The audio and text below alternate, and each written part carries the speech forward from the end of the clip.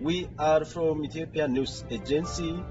I hope it will be under control within a short period of time. We are with you. Be strong. China is a good friend. I believe it will be fine.